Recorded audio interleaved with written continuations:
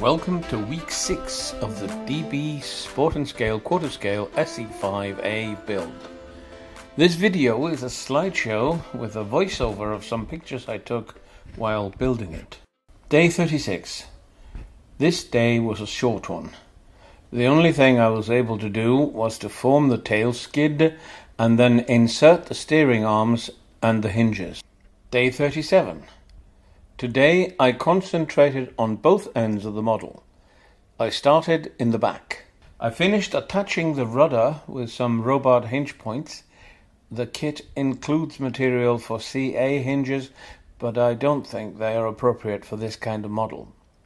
Then I opened the rudder post to allow the elevator connecting rod to pass and drilled for the hinges in the tailplane and the elevators.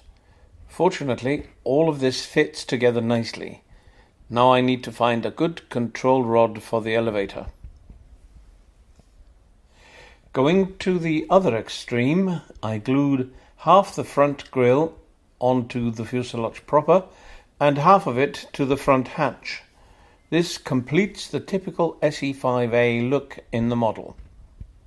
Day 38. The kit includes two thick plywood beams to fasten down servos and possibly other things related to the remote control. I made slots from 4mm plywood and glued them to the inside of the fuselage. Then I glued the beams into the slots, so now they should not go anywhere without the rest of the model. I borrowed a servo from another model to check on the spacing. Biplanes usually come with struts between the wings, and this kit has four of them, laser cut from some kind of pine or fir with a strong sweet scent to it. I started by marking the center lines on the front and back, and then from the center top to the center bottom for reference. Next, I planed the edges of both front and back. The third step was to plane the sides down close to the line, and the last step was to sand. I started with a rough paper, uh, P80, and ended with fine, P120. Many builders, both model builders and other kinds of builders, tell you often and loudly that they hate sanding. I think this makes me some kind of pervert because I actually like sanding. I spent a good hour forming and sanding the struts and enjoyed every minute of it. Day 39.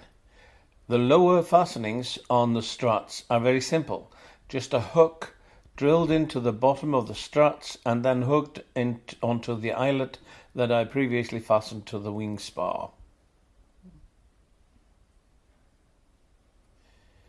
I acquired a black cotton thread to wind around the ends of the struts where the cross braces fasten. Then I put some epoxy glue on them and as indicated in the instructions.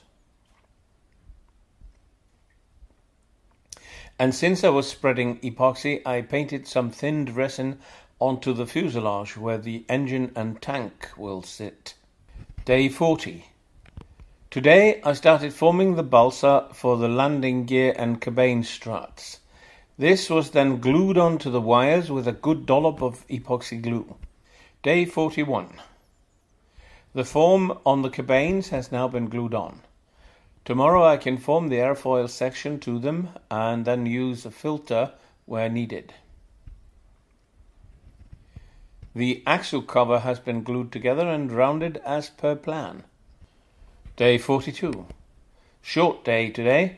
I formed the balsa on the landing gear using sandpaper, a plane, and a sharp knife.